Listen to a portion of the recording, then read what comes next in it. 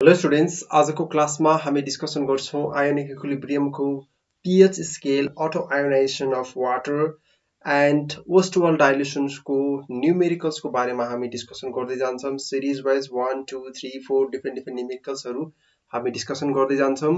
Okay यदि लास्टको भिडियोसमा तपाईँहरूले केही बुझ्नु भएको छैन भने प्लिज कमेन्ट गर्न चाहिँ नबिर्सिनु होला बिर्सिने काम चाहिँ नगर्ने। ओके विदाउट वेस्टिङ टाइम म सधैँ टपिकमा जान्छु अब। है? नम्बर फर्स्ट क्वेसनमा जान्छु अब पेन र कपी र क्यालकुलेटर अगाडि छैन भने क्यालकुलेटर पनि अगाडि राख्नुहोस् किनकि क्यालकुलेटर चाहिन्छ तपाईँहरूलाई है? अगाडि छैन भने प्लिज अगाडि चाहिँ राख्नुहोस् र मसँगै प्र्याक्टिस गर्दै जानुहोस् र यो क्वेसनलाई आउँछ भने एकचोटि भिडियोलाई पज गर्नुहोस् र त्यसपछि अगाडि बढ्नुहोस्।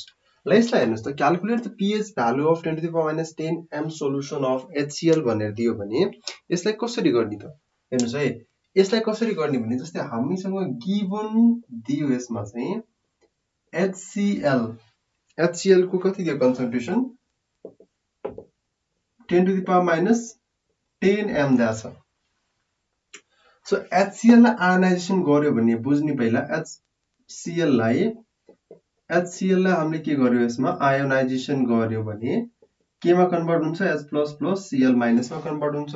सो यो वान मोल छ भने यो पनि कति हुन्छ? वान मोल हुन्छ। यो पनि वान मोल हुन्छ हाम्रो। सो यहाँ कति छ हाम्रो molar ten to the power minus ten छ भने यो पनि हाम्रो कति हुन्छ? Ten to the power minus so ten to the power minus ten नै हुन्छ एम है?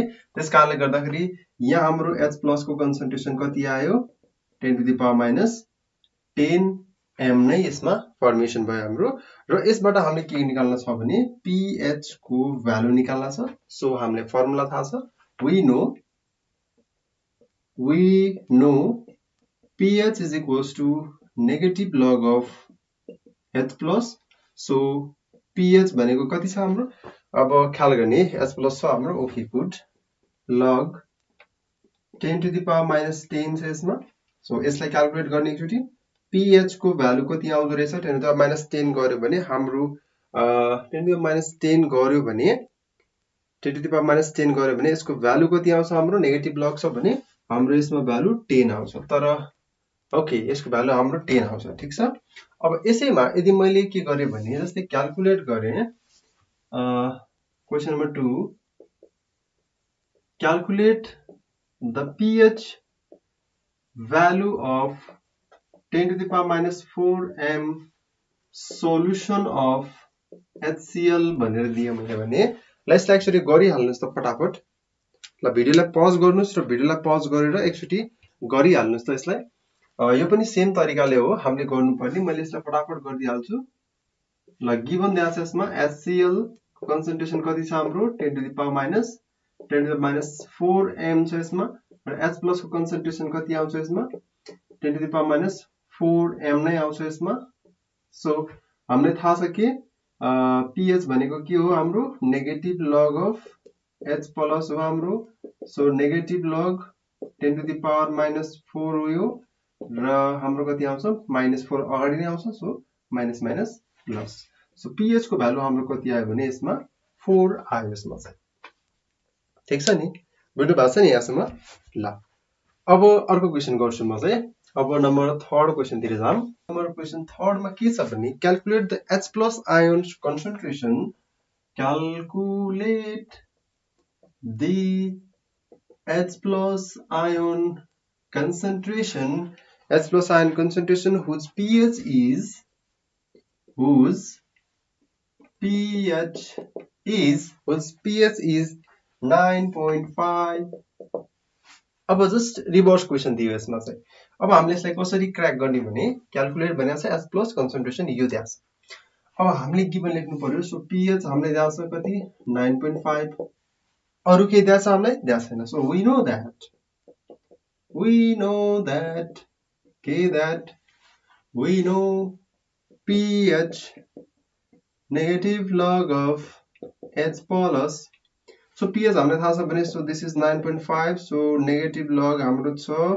सो यसमा इस तरह आशिकी का असर छोड जाऊंगा केही छैन यसमा? है? अब यसलाई एन्टी लक गर्ने त हो नि है? राशिको गीत गाउनै जरुरी छैन यसमा सो हामीले सिधै यसमा के गरौँ भने एन्टिलग गरिदिउँ र एस प्लसको भ्यालु निकालिदिइहालौँ यसमा। अब के गर्ने भने यसलाई क्यालकुलेटरमा हाल्नुहोस् एन्टिलग गरेर सिफ्ट हाल्नुहोस् र लग हाल्नुहोस् त्यसपछि एन्टिलग आउँछ हाम्रो। Antilog antilog nine point five गऱ्यो भने हाम्रो कति आउँछ भने ten to the power antilog गऱ्यो भने यसको भ्यालु एकचोटि क्यालकुलेट गर्नुहोस् त फटाफट। ल एक सेकेन्डको टाइम दिएँ मैले। गरिहाल्नुहोस् त भर्खरै फटाफट टाइम भिडियोलाई पज गर्नुहोस् र एन्सर निकाल्नुहोस् एकचोटि। छिटो निकाल्नुहोस् त यसमा। एन्टिलग नाइन पोइन्ट फाइभ भनेको हाम्रो कति हुन्छ भने three point one six three point one six three point one six into ten to the power minus minus ten M हुन्छ यो चाहिँ। है? यो भनेको हाम्रो भ्यालु कति आयो यसमा? Ten to power minus ten आयो three point one six into ten to power minus ten M solution आयो यसमा चाहिँ।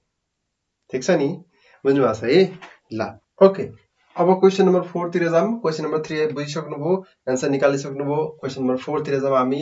अलिकति फरक अलिकति ट्विस्ट गरिदिएको छु मैले क्वेसनलाई calculate the pH value of zero point zero four HNO three solution assuming it to be completely ionized. Completely ionized छ भने स्ट्रङ इलेक्ट्रोलाइट हो भनेर हामी बुझ्नुपर्छ यसमा. सो यसको कन्सन्ट्रेसन कति दियो भने एचएनओ थ्रीको यसमा कन्सन्ट्रेसन दिएको छ हामीलाई। एचएनओ थ्री को कन्सन्ट्रेसन हामीलाई कति दिएको छ? जिरो पोइन्ट जिरो फोर दिएको छ हामीलाई। कम्प्लिट आयोनाइजेसन भइरहेछ। सो हाम्रो यसको भ्यालु एच प्लसको भ्यालु कति हुन्छ यसमा? यो कस्तो खालको एसिड हो भने mono mono acidic sorry monobasic acid हो यो चाहिँ। मोनोबेसिक हो यो चाहिँ है? मोनो भनेको एउटा मात्र यसले एस प्लस फर्मेसन गर्छ यसमा चाहिँ। जस्तै डायबेसिक भनेको हाम्रो के हुन्छ भने यस्तै एस टु फोर हुन्छ हाम्रो एस टु फोरमा के हुन्छ भने दुईवटा रिप्लेसेबल हाइड्रोजन हुन्छ त्यसमा। अब हेर्ने यो कन्डिसन्समा हाम्रो एच प्लस राखौँ। एच प्लस हाम्रो कति हुन्छ? जिरो पोइन्ट जिरो फोर नै हुन्छ यसमा चाहिँ। सो यसबाट हामीले के निकालौँ भने zero point zero four M हुन्छ हाम्रो। So we know pH is equals to negative log of H plus. So पिएचबाट हामीले के निकाल्न सक्छौँ? Zero point zero four calculator हान्नुहोस् र एन्सर निकालिहाल्नुहोस् है? क्यालकुलेटर हाने एन्सर निकाल्दाखेरि हाम्रो कति भ्यालु आउँछ? One point one point three nine answer आउँछ यसमा चाहिँ। यो ख्याल गर्नु होला